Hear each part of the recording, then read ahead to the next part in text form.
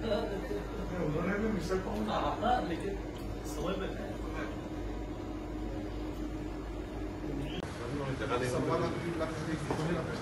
उनको जाने प्रदेश अध्यक्ष हमारे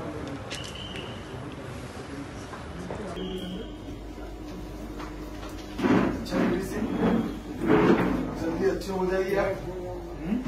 ध्यान रखिए स्वास्थ्य का हाँ जल्दी अच्छे हो जाइए खरं तर म्हणजे आम्हाला खूप आनंद झाला की अमित शहासारखा एवढा मोठा नेता आज आम्हाला भेटायला आले. बाबांच्या तब्येतीची विचारपूस करायला आले. मी ओंकारेश्वर मंदिरात होतो तुम्ही सगळ्यांनी पाहिलं आणि तिथनं मला धावपळ करत इकडे यायला लागलं. त्यामुळे त्यांच्या भेटीच्या अर्ध्यावर असताना मी वरती पोहोचलो. पण काही इतरच चर्चा चालल्या होत्या. सगळ्या हाऊसमधल्या जुन्या गमती जमती बाकीचे सगळे त्यांना सांगत होते. त्यांनी इन जनरल विचारपूस केली. तब्येतीची एक पाच सात मिनटं ते हार्डली बसले असतील आणि नंतर ते आम्हाला शुभेच्छा देऊन निघाले. भाऊची तब्येत कशी आहे? हां हे दादा खूप छान झालं. मला या निमित्ताने मला सगळ्यांना तुम्हाला एक अतिशय नम्र विनंती करायची आहे. त्यांची तब्येत अतिशय उत्तम आहे. त्यांना महिन्या आठवड्यामधनं एकदा दोनदा किंवा तीनदा जे डॉक्टर सांगतील त्यानुसार डायलिसिस करावा लागतो. डायलिसिस घरी होत नाही तो हॉस्पिटलमध्ये जाऊन करावा लागतो.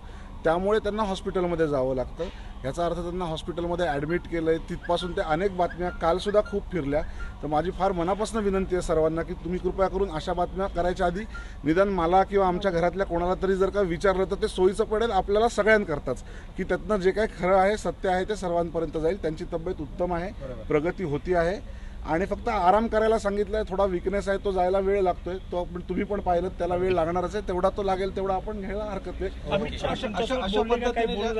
माझ्यासोबत काही नाही बोलले. मी बाजूला बसून होतो फक्त. बाकीचे सगळे बोलत होते. कसब्या संदर्भात काही कसब्या संदर्भात काहीही चर्चा झाली नाही. कसब्या संदर्भात सगळे बाकीचे निश्चिंत आहेत. व्यवस्थित काम चालू आहे. अमित शहा साहेबांसोबत काही चर्चा कसबा मतदारसंघासोबत झाली. हो सगळेच बोलत होते.